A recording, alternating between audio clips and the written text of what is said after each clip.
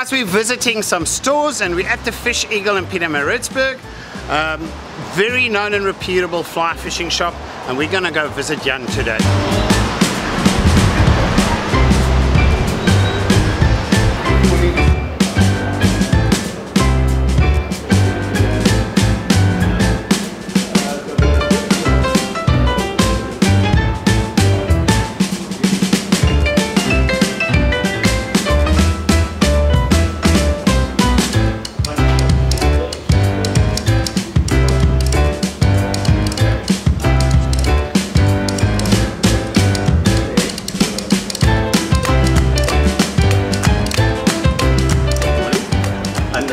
Hey guys, we're visiting the Fish Eagle in Pietermaritzburg, a really nice store, authentic fly fishing as well.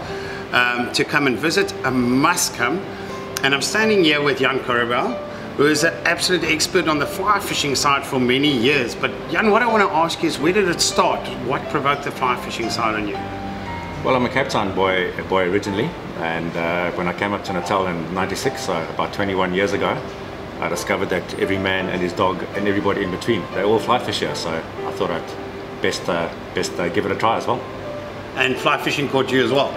Well, it caught me initially. Initially, I wasn't interested in it in it at all. There's a there's a classic saying saying that goes, uh, there's a very fine line between fishing and standing on the shore looking like It's an idiot angling, waving yeah. a stick, which is which is what uh, fly fishing is perceived to be. So yeah, so it took me it took me a bit of a while standing on the shore looking like an idiot waving a stick. But yeah, once the bug bit, the bug bit. And of fly fishing, what, what is the, the part that really excites you now at this stage of the game after so many years?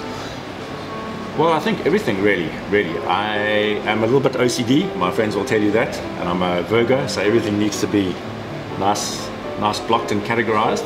And I think the preciseness of the game, game actually, your tackle, your setup, the presentation, the casting, the fly tying. I mean, I'm a mad keen fly tyer as well, so everything is neat and precise. Your your your fly fly um, building a fly from from like all the materials. Yeah, just the whole facet, everything, everything really just fascinates me. And favorite fly? Do you have something like that? Um, no, no. Basically, I love them all. I love all flies. I tie all sorts of flies. I tie everything from salts, from saltwater, from very big bullfish flies down to very tiny, tiny dry flies. Um, but I currently live in the Midlands, um, so most of the fishing I do is uh, small stream, upper berg streams. So I would have to say, if I have to put my finger on it, uh, dry flies is my favourite at the moment. So I fish, fish uh, mainly, mainly small dry flies. Um, yeah, and I love tying them. It's great, good fun. And just as comfortable in the salt water? Uh, just as comfortable. I don't get down to the down to the salt as often as I would like anymore. I'm actually a marine biologist by training. Okay. Um, so so believe it or not, my first rig rig that I bought was actually a saltwater saltwater rig. Yes. And my first flies that I tied were all saltwater flies. Um, but at that stage, I was living in uh, Pietermaritzburg, so the salt was a was a bit more closer, closer, a bit more bit more accessible at the time. Um, now now I live up, live up in Nottingham Road, and the Midlands, so the streams streams and the trout trout are more closer. Um, but yeah, when I go down to salt, I was recently down down down for a week at the salt, and I took a seven weight and a rig, and I managed to get a couple of species there, there as well on self self tied flies. It's something I must really give a go. Yeah, no, it's good fun. And KZN, why KZN? What makes KZN such an awesome fly fishing destination? Well, I mean, there, again, there's that there's that classic line: the berg and the beach. And you know, basically sitting in the Midlands, you've got everything. You've got the beach, which is relatively close by, so for your so for your saltwater fly fishing, and the berg, obviously the streams, and then the Midlands for all the trout dams for the for the still waters.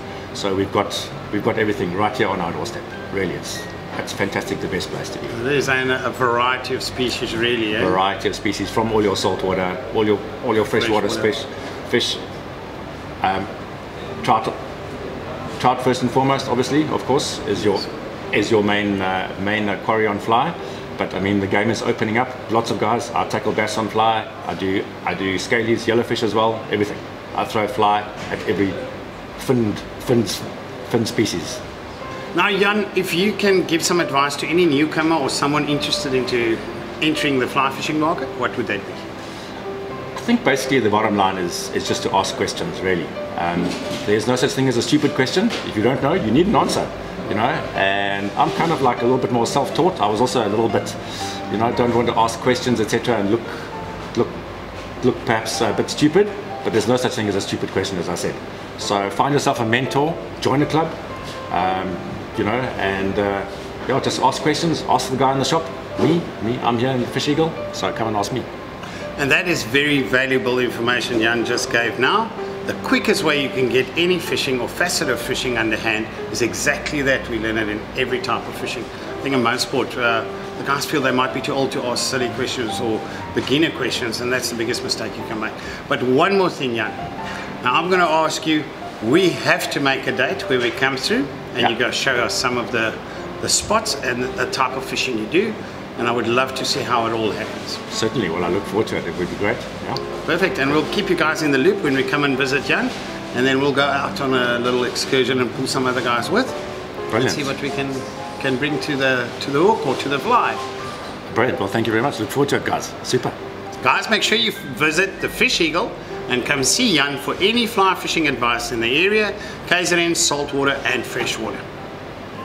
Guys, we can't leave the store and Jan without him giving us some hints and tips on what to use for this holiday season and what's happening in KZN.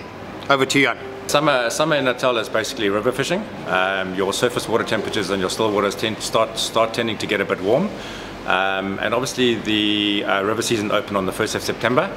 And a really popular popular outfit with us has been the the new Daiwa Wilderness range of rods. Four-piece rods, comes in a comes in a tube and a sock. Um, very very attractively priced. It's a seven foot nine four-piece three weight. Uh, what we do is we pair that with a a Wilderness 100 um, series reel. It's a very nice simple click and pull click and pull reel and a Snowbee three weight three weight floating line. We have the we have the flies and the leaders and everything in the shop and you're good to go. My choice of choice of flies, as you will have seen seen maybe in the previous section, is that I'm primarily a dry fly guy. So I choose to fish primarily dry flies on the small streams, and I'm starting with a parachute mayfly, an LK caddis, a rab, a rubber leg stimulator, and a royal Wulff. And that would be my first choice in the top five dry flies. Guys, please check on the check on the internet. We have a we have a Fish Eagle Facebook page. We welcome welcome all your photographs of your of your fishing and your exploits. So please send us your pictures pictures and your images, and we are quite happy to load them up onto our page as your as your own personalized break book. Thanks for your time, man. Awesome meeting you